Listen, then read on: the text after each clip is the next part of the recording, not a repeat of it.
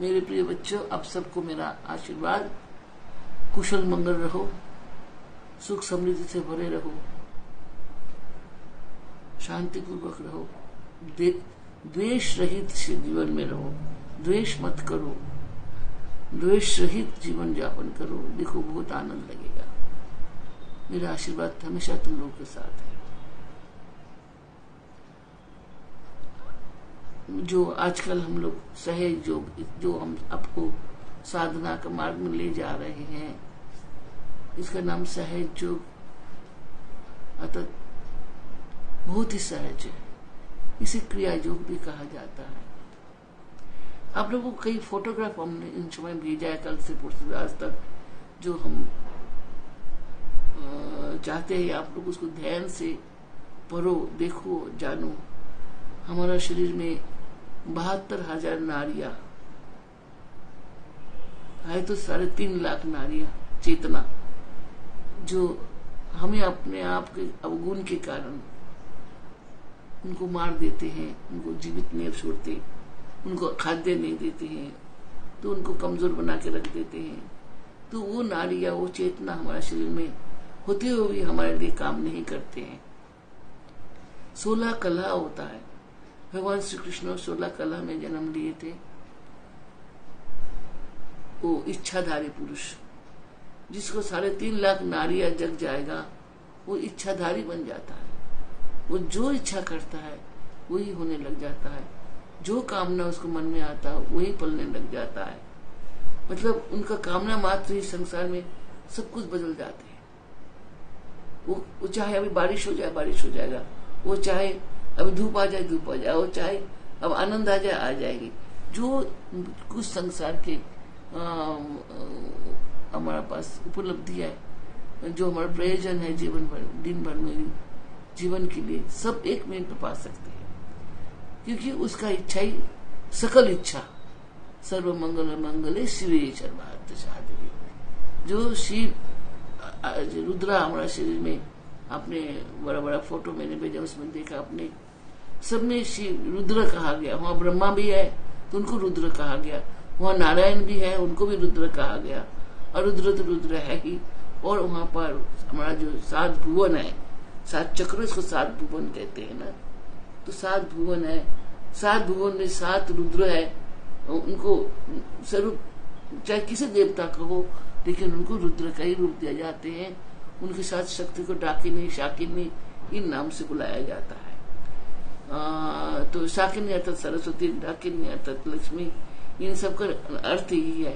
डाकिनी, शाकिनी मतलब गुरबर चीज़ नहीं है, इनका और नाम से पुकारा जाता है। तो हमारे शरीर में तला तला, अभी अभी अभी आपको फ़ोटो मिला होगा, एक ऋषि मुनि खड़ा है, उनका पैर के नीचे से देखो, जो पैर की तरफ़ से, उसमें उनका तला, तल तल, तला, तल, एकदम पैर से लेके घुटना तक तल तलातल उसके बाद सब यहाँ से लेके मूलाधार से लेके ऊपर तक सात भुवन। और अभी और फ़ोटो आपको मिलेंगे। और तीन लाख चेतना तीन, साढ़े तीन लाख चेतना है शरीर में। जाल की तरह फैला हुआ है। वो तीन, साढ़े तीन लाख चेतना, एक चेतना बन जाता है तो एक सिस्टम चलता है। और एक सिस्टम में और बगैर साढ़े तीन लाख चेतना भी नहीं चले, बहत्तर हज़ार चलेगा तो उसमें भी चलता है। लेकिन साधारण लोगों के अंदर ये नारिय सब मार डालते हैं। हम लोग खाद्य गुण से, अखाद्य गुण से, सोने का, जगने का असमय से सब काम करने के कारण हमारे भीतर में जोगिक क्रियाएँ होना बंद हो जाता है। भौतिक क्रियाएँ होने लगता है। जो भौतिक जो जो आप लोग खान पीन, आजकल आप लोग शादी जाते हो, कितना बजे खाना खाते हो? रात को दो बजे, तीन बजे, ढाई बजे वो मीट, मांस, मसाला फसाला खट्टा मीठा सब खाते हो। लेकिन रात का भोजन में ऐसा नहीं होना चाहिए ये तामसिक बन जाता है। वो तामसिक खाना आपको जाके निर्गुण आपके शरीर के अंदर स्वाह कर देता है। तो ऐसे ही हम लोग गुण अवगुण विचार नहीं करते। गुण का तो बहुत विचार होता है। और गुणों से ही हमारा अंदर आधार बनता है। जैसा आप सोचते कि एक हमें एक, एक मशीन बनाओ वो चाइना टाइप का नहीं। चाइना का मशीन मतलब आप दो सौ रुपये से घर में खरीद लाए, वहाँ तो चल रहा था। और घर के अंदर आया तो नहीं चलता। दो सौ रुपये भी गया। आने जाने का वो भी गया, चला नहीं। अब सोचा मेरा जर्मन जैसा, जर्मनी में बड़ा मशीन बने तो बहुत साल चलेगा। ऐसे हमारे अंदर भी तो ऐसे ही है। हम लोग जैसा जैसा हम लोग क्रियाएँ करता है, प्रक्रियाएँ होते रहते हैं। जो से क्रिया करोगे, वैसी ही प्रक्रिया होगा, वैसे ही अनुभव होगा। वैसे ही शरीर के अंदर का युद्ध चलता है। तो जैसा खाद्य, जैसा दृष्टिकोण, जैसा वातावरण में हम रहते हैं तो हमारे अंदर का जो नारिया जो है ना, सुकर जाते हैं, मर जाते हैं, और उसमें से दस हज़ार, पंद्रह हज़ार मुश्किल में काम करते हैं। तो उस उस बहाने थोड़ा बहुत हम लोग पढ़ लिख लेते नौकरी जाते, आते, इतने में थक जाते हैं। लेकिन नहीं, एक आदमी ईश्वर जो ईश्वर में है, जो भगवान में है, जो गुरु में है वही हमारे में भी है। हम उनको अत्याचार करके उनको दबा देते हैं। आज सकाम भाभी जो गुरु लोग है, जो नित्यानंद लोग है, जो ब्रह्मानंद स्वरूप गुरु लोग है, ये लोग उसको जगा के उसको करके अपने को समय को बचा के लंबा कर लेते हैं। कुंभक वगैरह करके, प्राणायाम करके। आप लोगों को वही गुजा मैं, मुझे बहुत बुरा लगा कि मैं तीन चार दिन पहले बहुत गुस्सा किया। मुझे दुख लगा था। कि इस क्रिया जो इतना कठिन है, क्रिया जो इतना गुहिया है कि कोई गुरु बताना नहीं चाहते हैं। आप किसी गुरु को भी पूछिए, वो आधा अधूरा बता के छोड़ देंगे। पूरा गुरु नहीं देते प्राणायाम तक ठीक से नहीं सिखाते। तो गुरु लोग, बहुत गुरु लोग प्राणायाम भी ठीक से नहीं सिखाते। थोड़ा बहुत सिखा भी देते हैं। ये सब कुछ पूरा नहीं सिखा पाते। कारण भी यही कारण है कि गुय है, अति गुय है। जब तक उनको आप लोगों को जब धन होते हो, आप एक अलमारी खरीदते हो, एक तिजोरी खरीदते हो, पता नहीं बैंक में रखते हो लॉकर में रखते हो, कहीं रखते हो, छुपाते रहते हो तो जो आप अपने धन को, जो कमाया धन, जिसको कोई औकात नहीं है, जो आज है, कल नहीं लेगी, लक्ष्मी का स्वरूप है, उसको तो आप छुपाते फिरते हो। लेकिन जो आपको भीतर का ज्ञान क्रिया प्रक्रिया है, वो तो बहुत महँगा है, उसको तो कोई दाम ही नहीं दे सकता है। लेकिन आप उनको कोई बताए, वो आप समझते नहीं हो। बताए तो समझ उसको ठीक से लेते नहीं हो। मुझे बहुत बुरा लगा सॉरी मैं कभी इतना गुस्सा नहीं करती थी। उस दिन मुझे बहुत दुख हुआ कि मेरे ही शिष्य, मेरे ही बच्चे, जिसको मैं कुछ सिखाना चाहती वो बच्चे इसको इस तरह से हल्का ढंग से लेके उसको नीचा कर देता ये गुण है बेटा, ज्ञान है। ये सरस्वती है। ये जल्दी किसी में कृपा नहीं करते हैं। लक्ष्मी कभी भी कृपा करेगा। लक्ष्मी तो जमादार भी कमा लेगा। निचले को लोग भी कमा लेगा। मजदूर भी कमा लेगा। और राजा भी कमा लेता है। लक्ष्मी किसी के पास बैठी नहीं रहती है। एक दिन रहती है, दूसरा दिन भाग भी जाती है। लक्ष्मी चंचला है। सरस्वती स्थिर है। धीर है।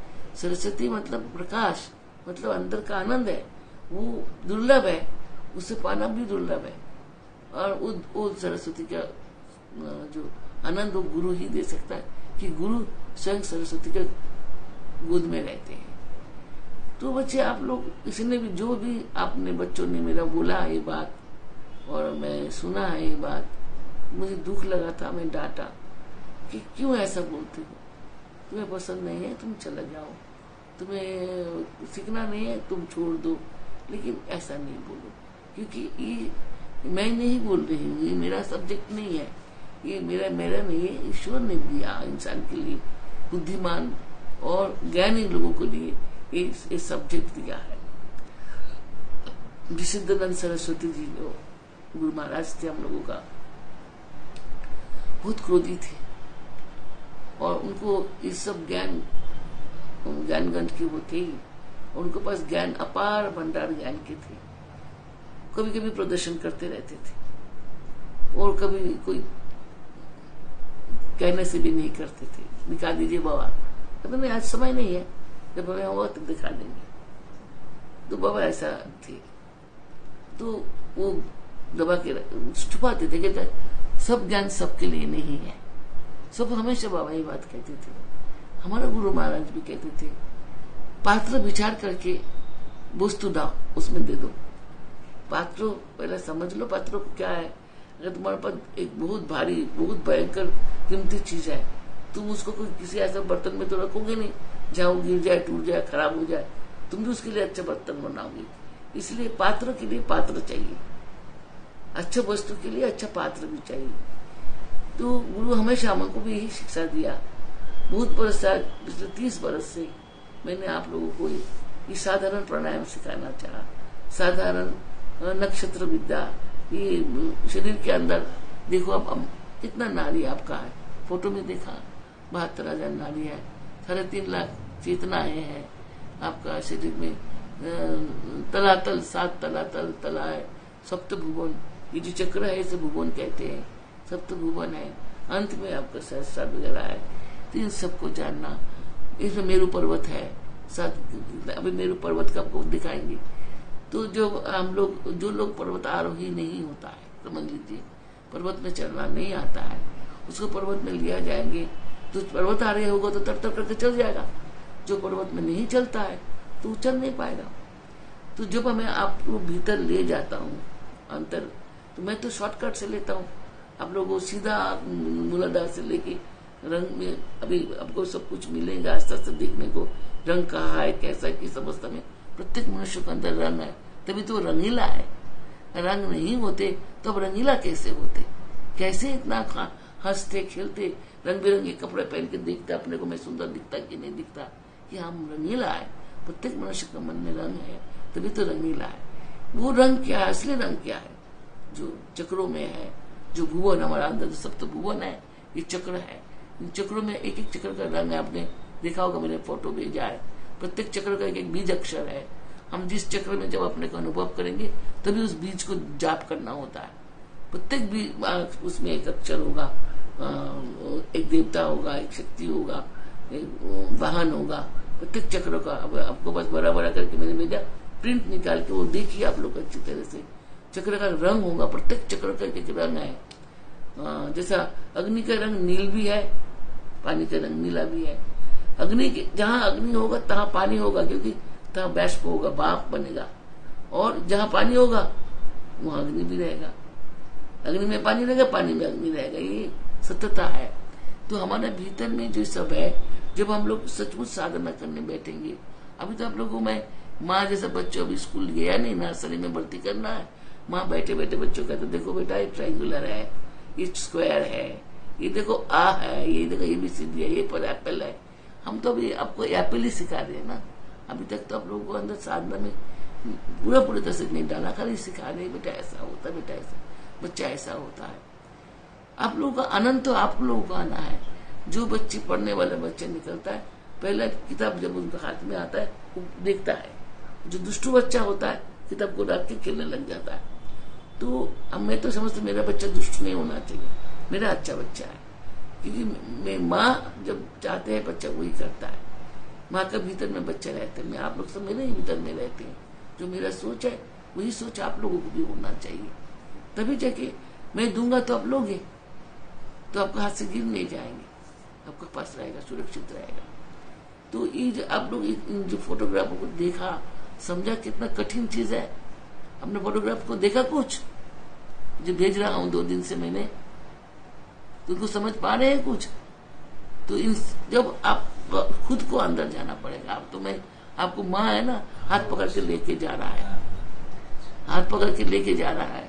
लेकिन एक दिन इस जटा जंगल में आपको खुद जाना है।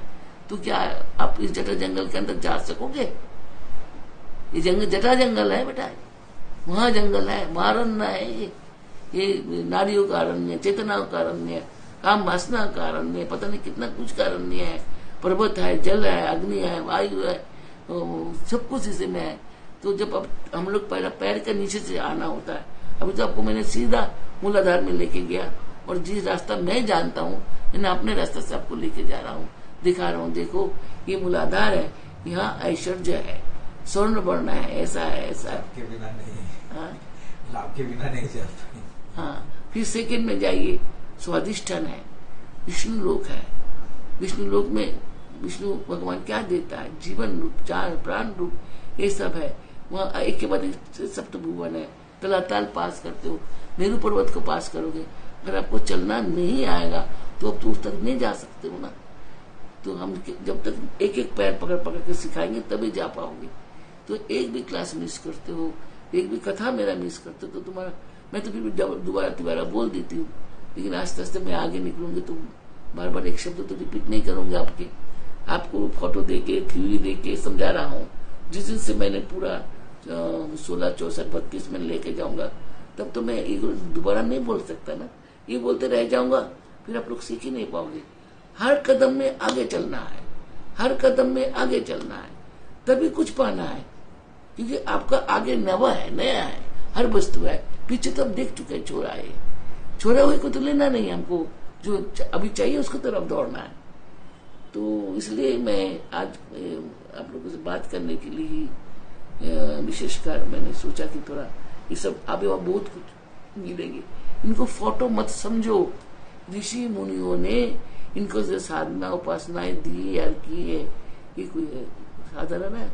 महर्षि पतंजलि, जिन्होंने इस कुंडलिनी साधना का नींव धरा है, उन्होंने जो सबसे उन्होंने सब प्राणियों के लिए दिया। लेकिन ये सब प्राणी के लिए नहीं होती हुए भी। मैं भी जानती हूँ कि अब जिसने जो भी उच्चाटन जिसको हुआ ऐसा बात बोला है उससे उच्चाटन वाला ही बात हुआ है। लेकिन ये आप समझो, सबको लेने का वस्तु भी तो नहीं है ना। सबको हर चीज़ अच्छा भी नहीं लगती। तो ये अभी से आप लोग एक एक करके ध्यान लगाओ इस फोटोग्राफ के ऊपर। पहले आप तलातल, देखिए ऋषि मुनि जो खड़ा है, उनको पैर के पास देखा तलातल दिख रहा है? दिख रहा है? वो फ़ोटो देखा था आप लोगों ने? जे पैर के नीचे से लेके घुटना तक और यहाँ तक उनका कितना तल और तला, तल, अतल है, अतल अतल, दोनों है। उसके बाद आपको नाभि के पास सप्त भुवन है। वो पीठ में मेरु पर्वत आएँगे और सप्त पर्वत आएँगे। जिस समय कहा, हमारे शरीर के अंदर जो ब्रह्मांड में है हम लोगों का, सब कुछ हमारे शरीर के अंदर है। और आपको मेरे साथ उन जगहों में जाना है उन जगह से हम जब आपको चलाएँगे तो आपको पैर जैसे नया नया चलोगे जब आप लोग तीर्थ में जाते हो, आप लोगों को पैर पक जाता, कट जाता है, खून निकल आता है ना? अब कितना चलना जानते हो? कितना जूता पहन लो, कितना बढ़िया शूज़ पहन लो तो आप लोगों को पैर का हालत क्या होता है? ऐसे ही तो कुंडली साधना भी वही है। वो वहाँ सूक्ष्म शरीर, तुम्हारा आत्मा, वो छोटा सा जो आत्मा है, जो बार बार जन्म लेता है। शरीर तो बार बार जन्म नहीं लेता। शरीर एक जन्म जो आया नामदारी शरीर एक जो आया, इस जिस माँ ने जन्म दिया, जिस दिन आयु खत्म होगा, मर जाएँगे, उसको आदमी में दे देंगे, पंचतत्व पंचतत्व में चलेगा, तुम बाहर निकल के चले जाओगे, दोबारा जन्म लोगे, दूसरा शरीर लेके आ जाओगे, दूसरा काया में चले जाओगे। तो ये तो मुझे बताने की बात नहीं तो आप लोग सब जानते हो। फिर भी अब बार बार आवागम से मुक्त होने के लिए कि बार बार हमें मातृ मातृ का गर्भ, जो माई का जो गर्भ होता है, वो कठोर होता है। सबसे कठोर नौ महीने का सजा होता है प्राणी के लिए, समझ लीजिए। क्योंकि उसको जोग अवस्था में रखा जाता है। आपको बताया गया था पहले कि पानी के अंदर रखा जाता है, नयन को बंद करके प्रकाश को स्मरण कराया जाता है, मुँह को बंद करके शब्द को गवाया जाता है, और अनाहत मुद्रा, जिस मुद्रा में शब्द संसार में ज्ञान है, इस मुद्रा में सर को नीचे करके माँ का पेट के अंदर नौ महीना, नौ दिन, कैसे आप रहते हो कठोर कुटिया में? ये कठोर कुटिया है, जहाँ आपको शिक्षा दीक्षा दिया जाता है योग अवस्था में। आज जैसा हो, जैसे आप खुले बल्ले हो, जो मर्ज़ी मुँह से बोल दे वहाँ से तो नहीं, आप बोल नहीं सकते हो। वहाँ आप कुछ नहीं कर सकते हो। खाना देगा, जो खाना देगा, खाना पड़ेगा। जो आपको जैसा व्यवहार वहाँ माई करेंगे, वही करना पड़ेगा। आप अपने आप कुछ नहीं कर, योग अवस्था में सब कुछ ग्रहण करके, उसे पेट के अंदर बैठे बैठे सब शिक्षा ग्रहण करते हो। बाहर आके उसको बड़ा करते हो कल तो ये साधना जो है, कुंडलिनी साधना, क्रिया साधना, जिसको सहज बताया गया है, सहज किया गया है, जान के सहज किया गया ताकि कुछ लोग कुछ तो सीखे। तो मैं पिछले तीस वर्ष दुर्गा दीदी और डॉक्टर चैटर्जी, उनसे आप लोग पूछ के देखिए, ये मेरा सबसे शुरू से मेरे संग दो प्राणी रहे। और दो चार जाने और भी रहे। इनको पूछिए मैंने क्या तीस वर्ष में क्या किया? खाली चाह कि मेरे बच्चे कुछ सीखे, कुछ जाने और बार बार आवागन से मुक्ति होकर अच्छा जीवन में जाए। नेक्स्ट जो आपको शरीर मिले, जीवन मिले, कोई कुत्ता, बिल्ली ना बनो, तुम अच्छा इंसान बनो, ईश्वर करो सेवा करो, भगवती का सेवा करो और अच्छे लोक में जन्म लो। ये सब कुछ मेरा चेष्टा आप ही लोगों के लिए मेरे लिए नहीं मैं तो मैं जाती आती रही तो मेरा तो रास्ता खुला है। जो एक बार जाता है, दस बार जा सकता है। अगर आप एक दिन कोई जगह चले जाओगे तो दस बार भी जा सकते हो। तो मैं तो जा चुकी, जाती रहती हूँ। जो जा नहीं पा रहे, उनको मैं खींच रही हूँ। तो आओ। संसार में धन, लक्ष्मी सब कुछ नहीं है। संसार में ऐश्वर्य ये सब कुछ नहीं है।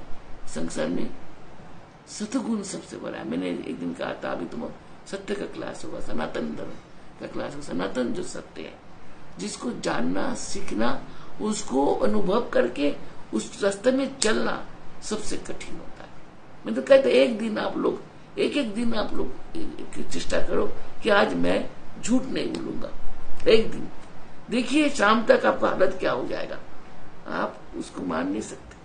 कि आप लोग बातों बातों में इतने छोटे छोटे झूठ के साथ जीवन को बाँध देते हैं। वो छोटे झूठ बड़ा हो जाता है, फिर दूसरे दिन उससे और बड़ा हो जाता है, तीसरे दिन और बड़ा हो जाता है, फिर आप उसी घेरे में रह जाते हो।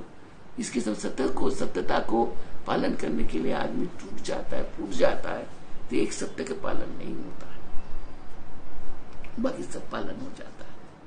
तो ये जो फोटोग्राफ्स दे रहे हैं, इनको देखिए, जैसा नारियों के लिए बोला, देखिए दिशा है इनका। कौन कौन दिशा में कैसा करके ये नारिया है, हम दक्षिण में जाएँगे तो वहाँ का अलग पावा परिवार होगा। हम पूरब में जाएगा तो सूर्य भगवान है, उसका अलग होगा। उत्तर में जाएगा तो अलग होगा। तो हमारे शरीर के अंदर चारों दिशाएँ भी है। सब सत्ताईस नक्षत्र है, नवग्रह है, सब हमारे शरीर के अंदर है। शरीर के बाहर कुछ नहीं है। और इन सबको अंदर से हमें पास करना हो तो जाना होता है।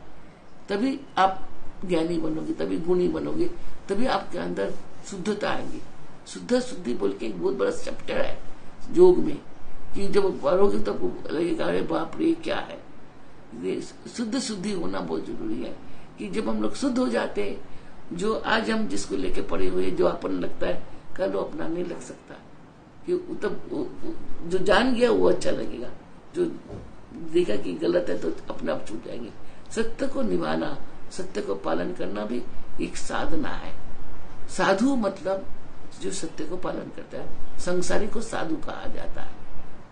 सन्यासी दूसरे होते जो ब्रह्मचर्य को पालन करता है। तो इन सबको पीछे नियम है, कानून है, सब उसे चलना चाहिए। तो आपको जो फोटोग्राफ आज मिले हैं और दो तीन मैं भेजूँगे, उनको सब अच्छी तरह से देखना है। और काल पर अगर हम लोग साधना शुरू करेंगे, यात्रा शुरू करेंगे इसलिए कहता हूँ, आप मैप में, जैसे हम लोग अनजान अमेरिका में जाते हैं, यूरोप जाते हैं तो वहाँ ना एक वो दे देता है तो गाइड मैप दे देता है हम कहा एयरपोर्ट से यहाँ निकलेंगे, इस रास्ता से यहाँ जाकर उस घर को पहुँचेंगे। तो ये आपको गाइडलाइन हम लोग मैप दिया है। इस मैप को अच्छी तरह से देखो सारा को। अभी बहुत कुछ मिलेंगे अभी। एक बार ध्यान से देख के, समझ के, इनको कंठस्थ कर लो कि हमको यहाँ से घर एयरपोर्ट के लिए निकलना है? इस रास्ते पकड़ के एयरपोर्ट को जाना है। वहाँ से फ्लाइंग करना है। फ्लाइंग करने के बाद हम लोग कलकत्ता में उतरेंगे तो किस रास्ते से हम अपने घर जाएँगे और किस तरह से दोबारा हम आके फिर दिल्ली आके अपने घर जाएँगे। ये सब कुछ। देखिए भगवान इसका सुंदर सिस्टम बनाया। हमेशा कहते दो दरवाजे। घर का अंदर जब तक दो जिस मकान में दो दरवाज़ा नहीं होता, अशुद्ध मकान होता है। तुम घुसते हो, निकल नहीं पाते हो। अशुद्ध है। इसलिए हमारा नाक दो है, आँख दो है, कान दो है। ये एक से जाना एक से निकलना होता है सिस्टम होता है। ये तो सबसे पहले जिस घर में घुसते हो, वहाँ निकलने का रास्ता सोचो। निकलोगे कहाँ से? तो ट्रैप हो जाओगे मर जाओगे, वहीं फंस जाओगे।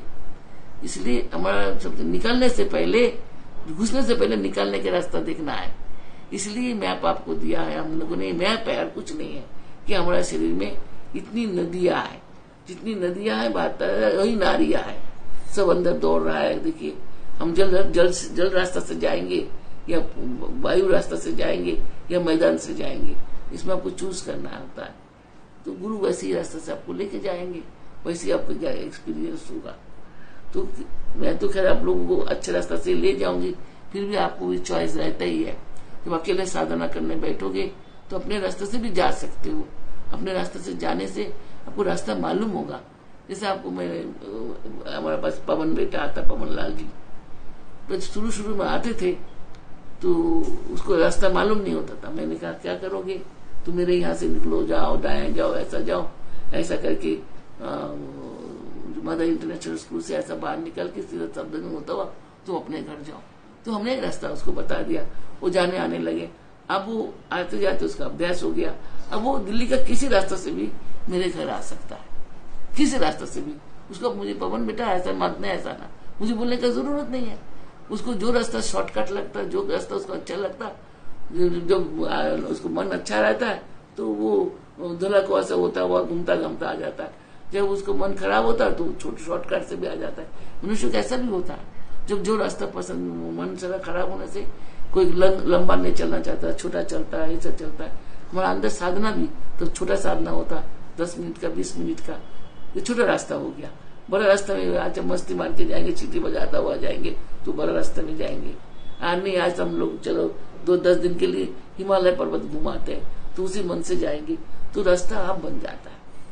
कहीं हम जाने का चाहेंगे तो एक बार हम जाके वापस आ जाते हैं, उस घर को ठिकाना जान जाते हैं तो वो अपने आप बार बार उसी रास्ते को जाने के लिए कई रास्ता ढूंढ निकालते हैं। तो साधना ऐसी होते हैं साधना मन की व्यापार है मन जैसा रहता है साधना वैसे ही चलता है। लेकिन कुछ पाने का लालच है अगर जीवन का उस आसाद को पालन क्या क्या एक्सपीरियंस होता है वो जानना चाहते हैं तो आपको एक, कुछ दिन दिन में रास्ता बदलना चाहिए। हर दिन एक रास्ता से जाना नहीं चाहिए। तो उस रास्ते पे चलने के लिए आदत भी करना चाहिए। कभी ऊँचा, कभी नीचा, कभी गड्ढा, कभी शड्डा, कभी प्लेन कभी फूल वाला पेड़ पेड़, फूल वाला बहुत सुंदर बाग बगीचा कभी एकदम गंदा कांटा पाटा वाला रास्ता सब मिलेंगे। उसमें से जाना है। साधना ऐसे ही होता है। यही एक्सपीरियंस से आदमी आदमी बनता है। उसके पास सब कुछ चलने का स्वभाव अभ्यास बन जाता है। तो गुरु एक हमेशा ही चाहते हैं। तो आज तक जो फोटोग्राफ गया, इनको एक काम करो। कम से कम इतना तो बड़ा बना लो कि बोले फोर बाई को तो फोर बाई सिक्स का फ़ोटो बनाओ। तो क्या आपको ना लिखाई भी दिखाई देगा कहाँ कहाँ हमने बताया? फिर देख देख के अपने अंदर आँख बंद करके ना अपने को देखो ऐसा दिखाई देगा ना। अभी जैसे दिख रहा है हम लोगों को कितना सुंदर रंग वंग दिख रहा है जैसे आप लोगों को सिखाया। तो हम लोग आस्ते आस्ते कैसे हम लिफ्ट से भी जा सकते हैं। अब तक हम नीचे से आपको ला रहे थे तो ऊपर से भी हम जा सकते हैं। तो बहुत कुछ हो सकता है। ये सब अभी सीखना है आप लोगों को। अभी खाली मैंने एक माँ का नाते अपने छोटे बच्चे को ए बी सी डी सिखाना शुरू किया है। वो भी जैसे वो सीखना चाहता है। मैं अपने ढंग से नहीं सिखा रहा हूँ। बच्चा, नहीं मम्मा, ऐसे नहीं, ऐसा कहता ना। एक टेरा लाइन कहकर ये ठीक है, तुम्हारा वाला गलत है। तो अभी आपको ये हालत भी होगा कि नहीं, ये ठीक नहीं, ये ठीक है। लेकिन नहीं, जो जो सिखाते माँ, वही होता है सबसे बड़ा शिक्षा। माँ का अर्थ ही हुआ कि माँ मैं होता मैं। माँ मतलब मैं जिसके अंदर हम लोग गुल मिल जाते हैं। वह हो जाता है हमारा अस्तित्व अलग से नहीं बसता तो हम जब जिस माँ का गोद में बैठते तो हम माँ का जैसे ही बन जाते हैं। और माँ गोद में लेके कि चीज़ जैसे आप, अपने को हमारे अंदर डाल के अपने दृष्टि से वो एक्सपीरियंस कराता है जो अब मैं आप लोगों के लिए कोशिश कर रहा हूँ। इस संदर्भ में मैं आपको एक छोटा सा ज़रूर कथा सुनाऊँगी।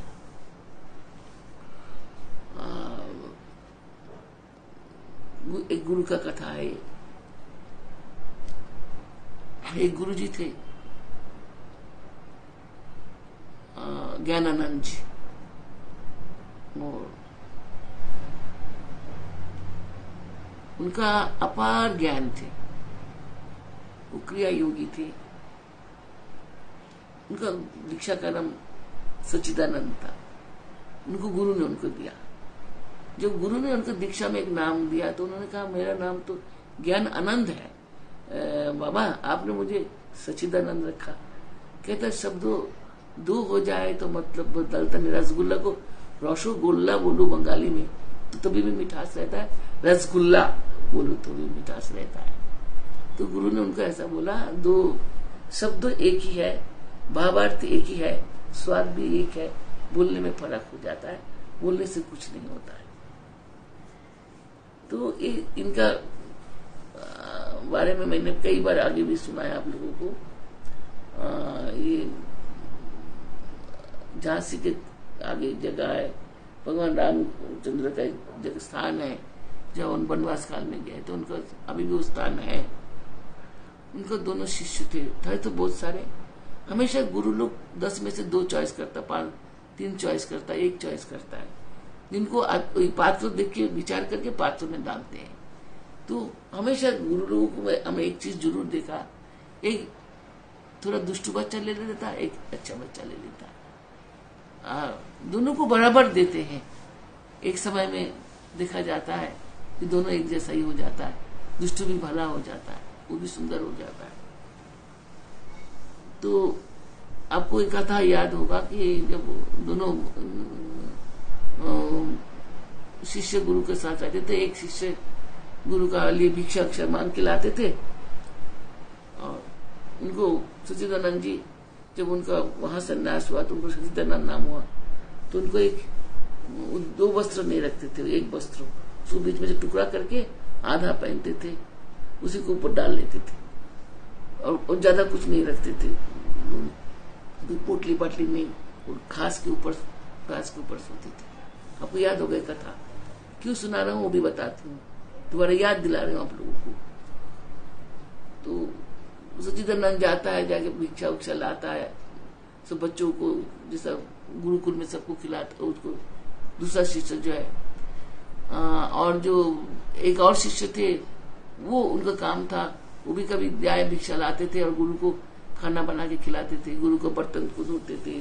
उनको जो घास का जो निशाना थे एक एक हाथ से बाल की तरह सफ़ाई करके उसको ठीक करके रखते थे। गुरु जी सोए तो शरीर में ना लगे कि गुरु जी बिस्तरा में नहीं सोते थे, नरम गद्दे में नहीं सोते थे, सख्त बिस्तरा में सोते थे। खाना बना के एक एक चावल को छान छान के बनाते थे। उनको मुँह में कंकड़ ना गिर जाए। खाना वैसे ही बनाते थे, देख देख के। सेवा करते थे, दोनों गुरुकुल में शिक्षा पाए। एक समय आया जाना तो है कि उसमें एक जना जाना नहीं चाहता, एक जना चले जाना चाहे। वो राज परिवार के बच्चे या जमींदारों को बच्चा जाते थे पढ़ने के लिए। पहले हर बच्चे तो पढ़ने जाते नहीं थे।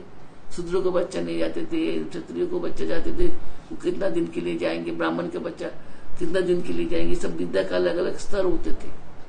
तो वो ब्राह्मण के बच्चा थे तो वही राजाओं के बच्चे थे क्षत्रियो का इनको जल्दी जाना था। तो वो तो चला गया। आस्ते आस्ते सब बच्चे चले गए। वो थे ब्राह्मण का ब्राह्मण थे। जो छोटे उनको सेवा करते थे।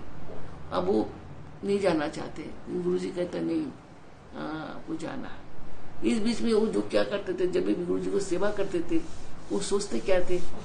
इस अगर मैं, मैं राजा होता तो मैं गुरु जी को एक सोने का थाली देता। बाबा खाता, मैं एक चांदी का पंखा झीलता और बाबा खाते और उनको बहुत आराम मिलता। मैं बाबा के सोने का कटोरी देता, उस बाबा खीर खाते पुष्टि होता। बाबा को चांदी के गिलास देता, उसे पानी पीने से सोमरस पीता बाबा बाबा। बाबा कितना अच्छा लगता। तो जो भी खिलाते थे, सेवा करते थे, उसको मन में हमेशा ऐसा होता था। बाबा को मैं ऐसा देता, बाबा को मैं ऐसा करता, बाबा और जो दूसरा बच्चा था वो ला के देते थे तो ड्यूटी मानते थे करके, और जब उसको क्षत्रिय लोग पच्चीस वर्ष के अंदर सब शिक्षा दीक्षा लेके अपना वापस जाते, क्योंकि उनको राजत्व संभालना होता। ब्राह्मण आगे और पढ़ सकता है, जब तक चाहे क्योंकि गुरु बनता है आगे चल के। शिक्षक बनता है, इसलिए उनको जितना पढ़ सकता है, उतना पढ़ते हैं। पुथी, इसलिए उनको पुथी मिलते थे। तो अब और बच्चे भी बड़े बड़े होते गए, सब अपने अपने घर चलते गए। अंत में गुरु महाराज ने कहा, आप, तुम नहीं जाओगे घर? कहते, नहीं, मैं आपको सेवा करेंगे। कहता, नहीं, तुमको तो जाना है। और उस दिन रात वही चिंता था बाबा के लिए मैं एक अच्छा घर बनाऊ, उसमें मैं ऐसा लगा दू, ऐसा कर दू, ये कर दू, वो कर दू। आप लोगों को याद होगा, मैं चार के छोटा कर रहा हूँ। तो अंत में उनको जाने के लिए बाबा ने हाथ में चना दे दिया, कहते, जाओ, अब तुम जाओ। अब मैं कुछ दिन आराम से अकेले रहना चाहता हूँ, कुछ साधना करना चाहते तो अब वो चले। चलते चलते गए। मन में वही आता गया कि बाबा क्या कर रहे हैं। एक पर जाते थे, एक बार पीछे मुड़ के देखते थे, बाबा को दिखाई दे। ऐसे करते थे, शाम तक हो गया, वो बहुत दूर नहीं जा सका। ऐसा जगह में रुक गया जहाँ से वो बाबा का वो कुटिया देख सकता है। तो कहता अभी बत्ती नहीं जला। बाबा बत्ती नहीं जलाया, अंधेरे में है। ये कह रहा है उतने में उसको भूख का थोड़ा महसूस हुआ तो वो चना खाने लगा। वो चना खाते खाते वो सोचता रहा कि बाबा को मैं क्या करूँ कहता मैं वापस जाऊँगा, मैं नहीं जाऊँगा। और उसको पैर में कुछ लगा तो पैर को, से मट्टी को हटाने लगा। तो देखा कुछ चकमक कर रहा है कि पूर्णिमा के रात थे, वो चमक रहे हैं। तो उसको खींच के निकलते तो बहुत मोटा सोने का तार जैसा था, मोटा सा। वो खींचा, उठाया तो ऊपर तक आ गया, और खींचा तो ये तो सोना है। उसको भटकने लगा उसने बढ़ने लग गया। बढ़ते बढ़ते मोटा हो गया। वो बढ़ते बढ़ते वो चल जलते गया, भाई, आज सोना है। कल बाज़ार जाके बेचूँगा, इस में सामान लूँगा गुरु दक्षिणा दूँगा बाबा को। एक बहुत बढ़िया सोने के पलंग बना दूँगा, बाबा को मैं चांदी के पलंग बना दूँगा, ऐसा बिस्तर बना दूँगा, ऐसा बर्तन बनाऊँगा, ऐसा करके मैं खाना खिलाऊँगा। वो ही सोचते गए आस्ते आस्ते आस्ते आस्ते देखा तो तो आ गया दोबारा पार पे। वहीं पर आ गया। आने के कारण उनको वो देखो बाबा का जहाँ नहाते धोते उस स्थान पे आ गया।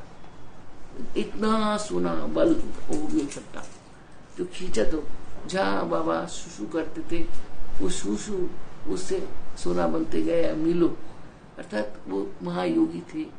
तो उनको हमारा शरीर में सोना जो है तो इस तरह से अलग जमाने में साधु लोग बनाते थे सब सोना। तो जहाँ से वो सुसु जाते थे, वो सब सोना बनते गए। तो कहते, बाबा जी, मैं किसके लिए सोना सोना कर रहा हूँ? ये तो इनका तो सुसु में ही, वो, सोना इतना है। तो अंदर गया, उसको उठाया, धोया, लेके अंदर गया। तो बाबा अंधेरे में सोए पड़े कोई बत्ती उत्ती नहीं जलाया पड़े। वो उसने सुना बाबा का पैर का पकड़ के, पैर पकड़ के रोने लगा। मुझे क्षमा करो, मुझे क्षमा करो कि मैं आपके लिए ऐसा सोचा। आ, आप आपको क्या सोने का ज़रूरत है?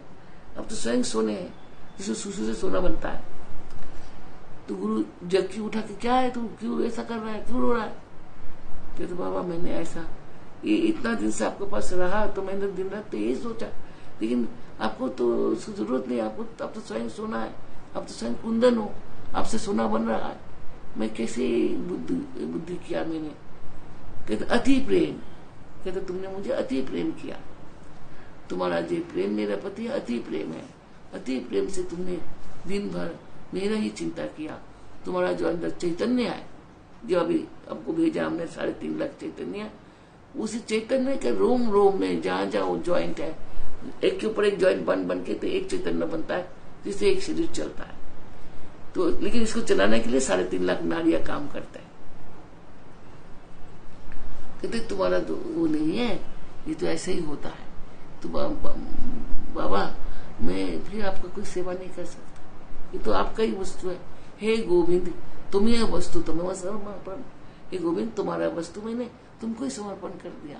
मैं तुमको क्या दे सकता हूँ? आपको क्या दे सकता हूँ? तो उन्होंने बाबा ने कहा आओ तो थोड़ा कुटिया के बाहर ले गया। और उन्होंने हाथ से अंकुश मुद्रा से मैं दानव को मैं मैं रावण का ससुर जी को बुलाया। वो सबसे बड़ा वो थे आर्किटेक्चर थे। और विश्व विश्वकर्मा जी को बुलाया, दोनों को बुलाया। और बना उनको खड़ा किया सामने और बोला, देखो तो ये प्राणी क्या बनाना चाहते हैं? वो बना दो इसको, ताकि इसको तृप्ति हो जाए। तो वो खुश हो गया। कहता, मैं यहाँ पर ऐसा एक भवन बनाना चाहता हूँ। इसमें ऐसे ये रहेगा, वो रहेगा। हर सुख सुविधा चीज़। मेरा गुरु ऐसा करेंगे तो पानी मिलेगा सब बताया, ऐसा ऐसा। बाबा के लिए मैं ये बनाना चाहती हूँ, मैं ये बनाना चाहती हूँ बगीचा बनाना चाहती हूँ बाबा इतना दूर नीचे पहाड़ में चल के जाके नहा तो राम घाट आज भी है। वो झांसी से ऊपर आए आते नीचे नहाने के लिए लोग। इतना दूर जाना पड़ता है नहाने के लिए। हमारा यहाँ पर जलाशय बनाएँगे वो बोलते गया और विश्वकर्मा और मैं धर्म मिलके ये बना दिया भवन। तो बड़ा खुश हो गया वो, बड़ा धूमधाम से वहाँ पर गृह प्रवेश कराया गुरु जी को वहाँ बैठाया, खाना बनाया सोने की थाली में सबने परोसा उनको, खाओ। जो गुरु आधा कपड़ा पहन के जीवन बिताया, उसको बहुत बड़ा बड़ा बढ़िया बढ़िया कपड़ा पहनाया गया ऐसा तो सब उन्होंने, तुम्हारा मन के तृप्ति के लिए मैं सब करूँगा, कर।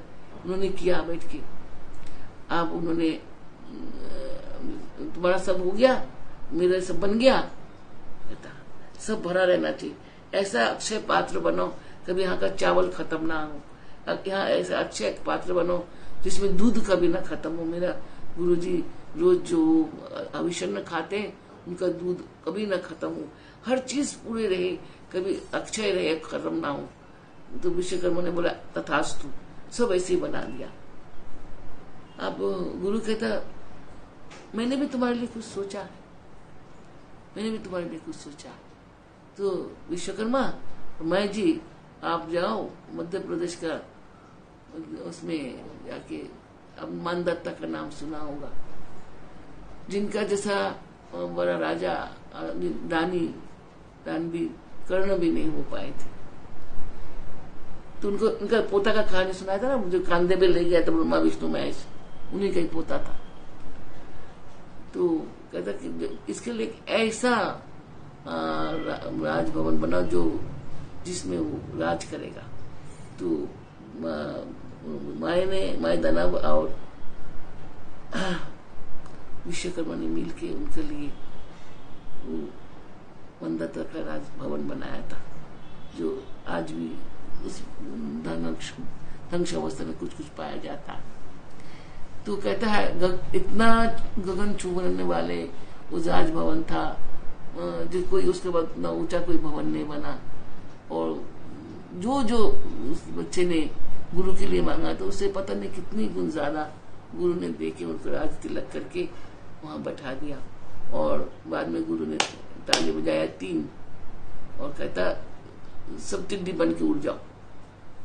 सब टिड्डी बन के उड़ गया। काट के बोला सब चला गया, फिर वो ही कुठिया, गुरु, वही आधा कपड़ा में, वही पर आराम से जीवन बिताए। अंदर तक जाते रहे, आते रहे, लेकिन उनको सेवा करते रहे। लेकिन उनका वही सुबह उठ के नहाना, किसी गृहस्थ के घर के आगे जाके आज से कहते थे, माता भगवती भिक्षाम देगी जिसने जो दे दिया ऐसा खाना गंगा में पानी पीना और रामगंगा घाट में पानी पीना और ऊपर आके सो जाना शाम को। यही इनका जब तक जिया। तो देखा, इस कथा का इसलिए मैंने सुनाया कि गुरु लोगों को हम कुछ दे नहीं सकते, हम लोग को पहले भी बताया। हम लोग अति प्रेम अति प्रेम कर सकते, अति प्रेम। कि उनका नाम याद आने से भी रोना है।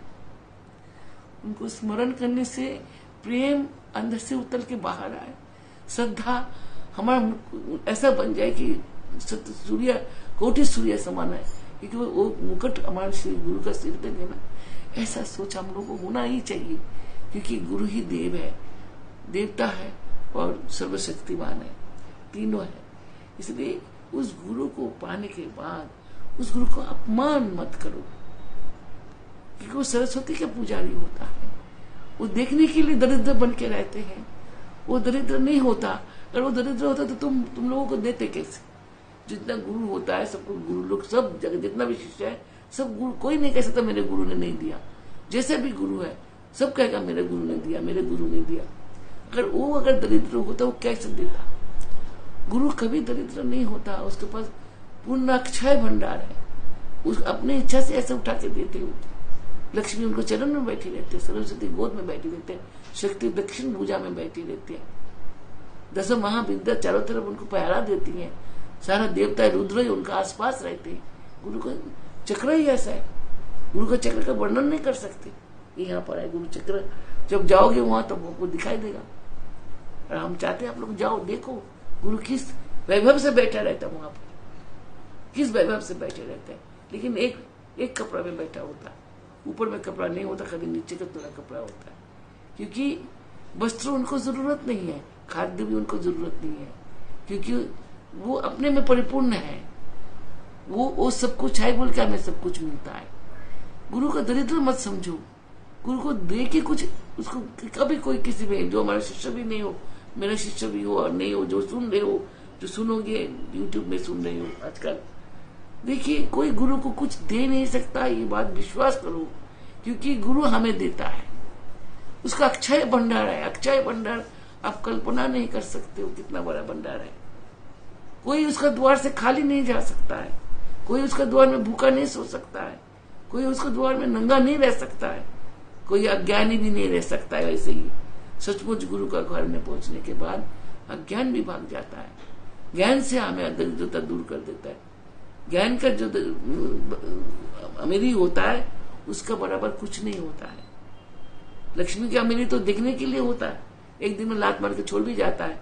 लेकिन ज्ञान जिसने पढ़ाई लिखाई कर लिया वो जब तक जीवित रहेगा, कई जन्मों तक वो ज्ञान उसके पेट में अंदर है तो जाता नहीं है।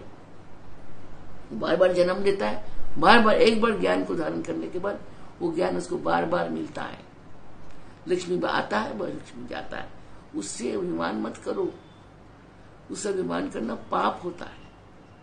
तो मान दत्ता का तो आपने दूसरा कहानी सुना ही है। उनको पोता, उनका बेटा, हमने सुनाया था। भगवान में इनका कथा आता है। मैं अपनी तरफ़ से नहीं बोल रहा हूँ। ये भगवत कथा है। तो ये जानो, जो आजकल, जो भी हुआ कुछ दिन में, मैं दुखित हुआ था, लेकिन सॉरी बेटा, हम दुखी नहीं हुए। हमको इस बात की कष्ट हुआ कि मैं तोते की तरह आप लोगों को समझाता हूँ, तोते की तरह, छोटा बच्चे की तरह, गोद में लेके, प्राण में लेके सिखाती हूँ कि अहंकार मत करो। किसी के साथ इतना द्वेष मत करो। प्रेम करो, दया करो, क्षमा करो। देखो, तुम्हारे लिए खड़ा रहेगा। कभी कभी आप लोग खुद भी कहते होंगे, हम भी कहते हैं भाई हमने तो ऐसा कुछ अच्छा काम किया नहीं, ये कैसा हो गया? करते हैं, जाने अनजाने हम करते हैं। वो वो वो पूर्णता हमारे से कोई छीन नहीं सकता है। वो हमारे लिए रखे रहते हैं, क्योंकि उसका कुंजी हमारे गुरु के हाथ में होता है। हमारे तो पाप का कुंजी भी गुरु के हाथ में होता है। हमारे कृत पुण्य का कुंजी भी हमारे गुरु के हाथ में होता है। जिस दिन गुरु जब तक नहीं चाहेगा, कुंजी कोई और कोई खुल नहीं सकता, कोई चुरा नहीं सकता। जब हमारा ऊपर जाके हम लोगों का वही होता, फलाफल आता है कि गुरु वकील बन के हमें वो सब दिखाते, देखिए ये ऐसा किया ऐसा किया, कि पूंजी उनकी हाथ में होता है। अच्छा बुरा का तो ऐसा मत करो, इतना हिंसा मत करो, इतना नीचे मत चले जाओ कि खुद भी ना उठ सको। तो उस दिन से मैं कष्ट पाया था, इसलिए उस दिन सबसे कष्ट हुआ, मुझे कुछ और बोल दो मुझे दुख नहीं लगता है। लेकिन हम गुरु लोग ज्ञान को ही पूजा करते हैं। सरस्वती हमारा देव देवी है, सरस्वती हमारा सब कुछ है। और ज्ञान के माध्यम से ये हम जगत का आनंद लेते हैं। सब गुरु, हम अकेले नहीं, प्रत्येक गुरु, क्योंकि ज्ञान के माध्यम से आनंद लेते हैं। उनका आँख में जो चश्मा होता है, वो ज्ञान का चश्मा होता है। उसी से आनंद सब कुछ देखते भी, भोग भी करते, लेते भी और उसी के अंदर रहते भी है। इसलिए उनको कष्ट मत दो। जो शब्द आप लोगों ने जो भी बोला फिर उसको मैंने निकाल दिया आप इसमें आप वो नहीं। तो गलत बात है कि एकदम से कहना बकवास ये कुंडलिनी सब्जेक्ट है, कुंडली कुंडलिनी साधना है। देवता भी साधना करने के लायक हो जाता है। आपने, मैंने आपको दिया, उस दिन जान के दिया था, वो सब। श्री कृष्ण उद्धव को क्या बोल रहे हैं? कि देवता भी इस शरीर को पाने के लिए ललायित होता है। देवता भी इस शरीर को पाने के लिए साधना करते हैं। कितना कुछ करके ये शरीर ग्रहण करते हैं, क्योंकि इस शरीर में आके हम पुण्य कर सकते हैं, दान कर सकते हैं, साधना कर सकते हैं, गुरु को, गुरु से मिल सकते हैं, और किसी शरीर में हमें दीक्षा नहीं मिलता है। खाली गुरु मनुष्य शरीर में मिलता है। इसलिए देवता भी मनुष्य बनना पसंद करता है। तो उस शरीर धारण करने के बाद, उस शरीर पाने के बाद, इतने वस्तु में खो मान जाओ कि वस्तु से वस्तु तुम्हारा लोहा है, वो कुछ नहीं करता, जंग लग जाता, चमक खत्म हो जाता। वो सोना नहीं है, करोड़ों बरस ज़मीन के अंदर पड़े रहने से भी ज़्यादा चमकेगा। तो लोहा को ज़्यादा गराव नहीं, वो जंग लग जाता। तो मन के अंदर का तो स्वर्ण था तक उज्जवल उज्जवल मतलब अंधेरा को दूर करना, वो भाव को लाओ। तेजस को लाओ, उस ओशो को जगाओ जो निद्रा में है। तो आज का जो आपका साथ हमारा बात रहा, इसमें प्रधान यही रहा कि आप लोग जो भी आपको हम लोग दे रहे हैं पढ़ने के लिए और देखने के लिए, इसके बाद हमको आप लोगों को नींद में दूँगा, उतना ही दूँगा जितना आप अंदर जा सके आप उसको हजम कर सको। और उससे अपने लिए वो रास्ता ढूंढ सको, जंगल का जो रास्ता आपको सामने दिया गया है। हम साथ है रहेंगे बस हमारी यही इच्छा है कि थोड़ा बहुत अपने अंतर को भी जगाओ। अंत जागृति लाओ अंत जागृति में ही आनंद आता है। वहीं परमानंद को पाओगे। सचिदानंद ब्रह्म तुम्हारा हाथ पकड़ के आगे लेके जाएँगे। आगे चलो, पीछे मत जाओ। तो हमारा आज ज़्यादा नहीं बोलना था, थोड़ा ही बोलना था। कल कल का दिन भी मैं थोड़ा सा साधना शुरू कराना चाहता हूँ। अगर आप लोग प्रस्तुत होंगे तो लेकिन बीच बीच में मैं पूछूँगी ये सब। अपने नारिया कौन दिशा में है? कौन सा नारिया? तो वो छोटा है, उसको बड़ा कर लो। देख सकते हो नारिया जो बैठे हुआ कुंडलिनी सप्त भुवन के साथ। सप्त भुवन और तलातल के साथ जो शरीर है, उसमें हमारे क्या क्या भाव है कैसे कैसे है? कौन दिशा में जाने से कैसा होता है? ये सब कुछ थोड़ा थोड़ा पूछेंगे भी। तभी जान पाओगे कि हमारे शरीर में दक्षिण क्यों है? उत्तर क्यों है? पूरब क्यों है? और पश्चिम क्यों है? दस दिशा हमारा बीच में क्यों है? दस दिशा तो आकाश में है, जो लोग ग्रह नक्षत्र ये लोग पहरा कर रहे हैं, फिर हमारा अंदर भी तो है, अंदर का किस अवस्था में है? तो ये सब कुछ अब जानो। ठीक है? आज हमारा आशीर्वाद। आप लोग खुश रहो, कुशल रहो। आप लोग को अंदर चेतना आए और चेतना चिताए आप लोगों को, चिताए। आप लोग सोए पड़े हो। चेतो, जाग मच्छंदर जाग। तो जागना है, हम सब मच्छंदर है। सबको जागना है। गोरख आया, चेत आया। गोरख मतलब चेत आया। चेतना आता है। चेतना आके चेत को जगाता है। और उस चेतना से हमारा दृष्टि बड़ा हो जाता है। हम अपना अंदर भीतर बाहर अंतर अंतरिक्ष, बाहर अंतरिक्ष महाअंतरिक्ष सब कुछ देख सकते हैं। और देखना, उसे देखने के बाद हम लोग को जीवन कितने सुंदर हो जाता है। तो रात में निद्रा अच्छा है, थोड़ा साधना करते रहना। जो यहाँ तक मैंने छोड़ा, वहाँ से रहो जो आपको जहाँ पर छोड़ा, कल से, कल आपको वहाँ से हटाएँगे। आज तक अब अनुभव कर लो। कल से एकदम फिर से आपको तला तल से शुरू करेंगे, पैर के नीचे से शुरू करेंगे। कैसे करके हम लोग नीचे से उठ सकते अभी मैंने हम लोग बीच में से ले गया तो पता ही नहीं लगा इतना। तो खुश रहो बच्चे। हरि नारायण, हरि ओम, तत्सत। जय गुरु, श्री गुरु, जय गुरु।